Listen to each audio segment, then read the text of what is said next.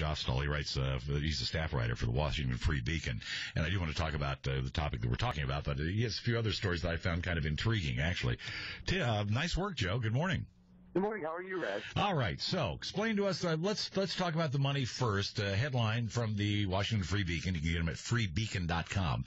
Hillary pulls in contributions from twice as many lobbyists as the nearest candidate. So, you can sell yourself as an outsider, ain't an outsider.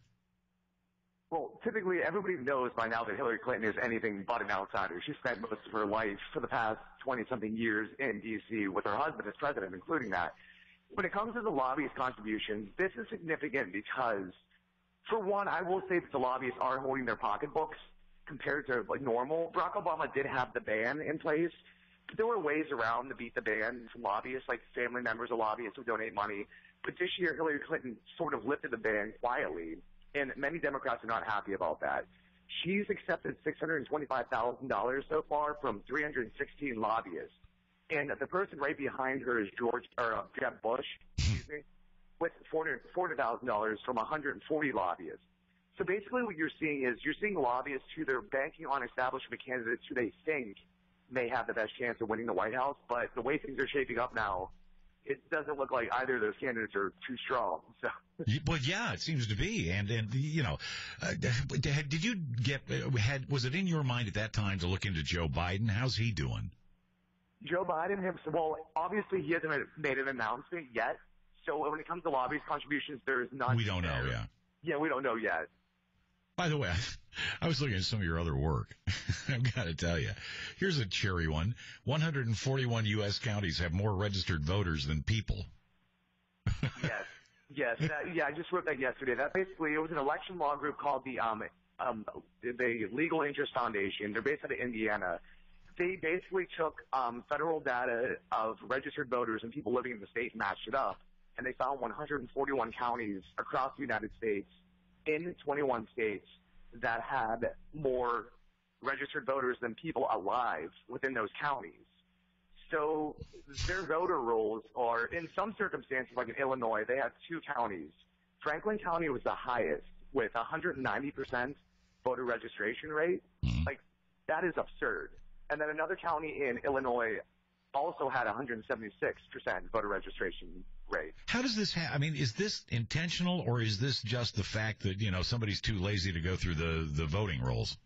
It could be, it could be a combination of both. That's what, that's why they're doing this. It could be people moving out of state. It could be, it could be, um, dead people still on rolls, which we've heard about a lot of times in the past. Them not purging the rolls.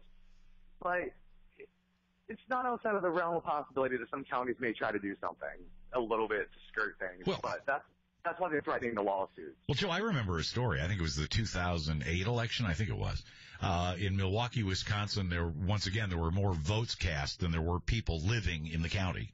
Yeah, that's it's, it's pretty insane. Like even um, some areas in Cleveland, outside in 2012, I believe it was, they had 100% voter turnout, and Sure any county do. in America, 100% voter turnout is basically impossible. Yes, Uh, you know, Nationally- absolutely. Yeah, like nationally, it's probably about 48, 49 percent. So, like one county hearing 100, that means every registered voter went to vote, and that's it's, that never. I don't think that's ever happened in the county before. You know, a couple. You're very prolific. I'm looking at another story that intrigues me. The Department of Homeland Security, 20 million on conferences last fiscal year. Yes.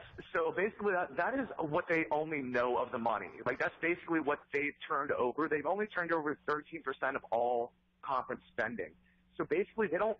They just have a lump sum of how much money they spend. They don't say like they don't line item it saying, "Oh, we spent this much on twenty thousand dollars on like a banquet or a dinner or twenty over twenty three of those um, conferences cost over a hundred thousand dollars." I'll bet they were darn good. I'll bet they were nice ones. Yeah, like can you imagine a hundred thousand dollar Congress? Like what would be involved with that? That's cool. you know, seriously, guys, like, uh, just go to freebeacon.com.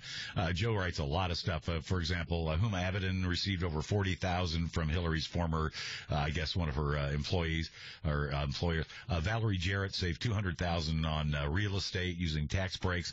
Uh, it's good stuff, Joe. I want to thank you. Hope to have you on again. Thank you. Appreciate it, Red. All right. That's Joe Schoffstall. He's with the Washington Free Beacon, just freebeacon.com.